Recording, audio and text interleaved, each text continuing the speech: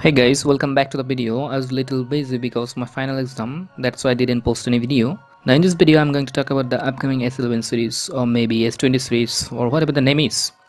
Last year, Samsung released their 10th generation phones, that is S10 series. That's why we initially expected 2020's flagship device will be called Samsung Galaxy S11 series. But Ice Universe claimed the next year marks a new beginning for Samsung and their next flagship name will be probably Samsung Galaxy S20. Same thing Huawei did with its own flagship. First of all, there will be a massive change in the design of Galaxy S20 series. We are pretty confident we know what the Galaxy S20 will look like. There will be four major design changes with every device of S20 series.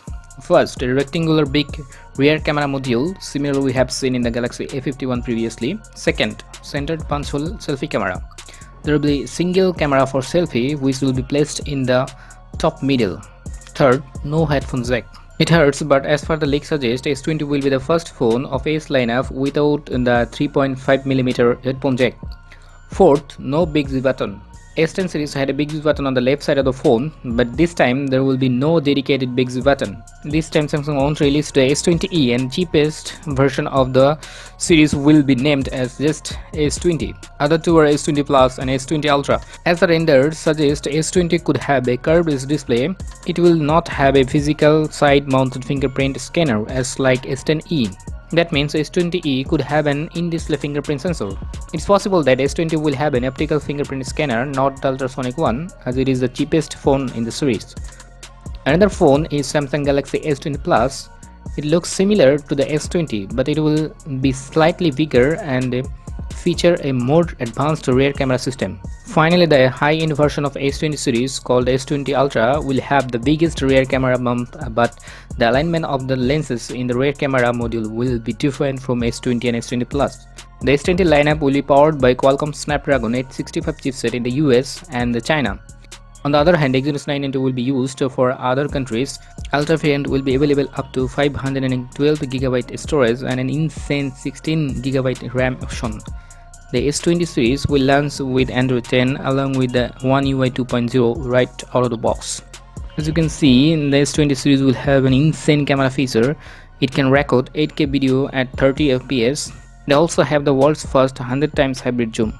And obviously the main camera sensor will be 108 megapixel, but it might be different from the one on the Mi Note 10.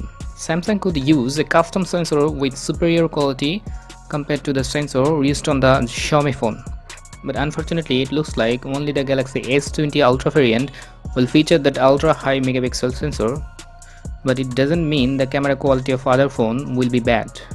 Other than the camera, Samsung Galaxy S20 series will feature a 120Hz display refresh rate that is really cool. Samsung display is already world class. If they use 120Hz refresh rate in the display, it will be buttery smooth.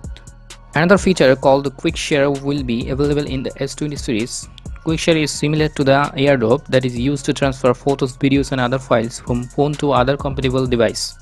Finally, talking about the price, S20 series will be very expensive compared to the last year of S10 series.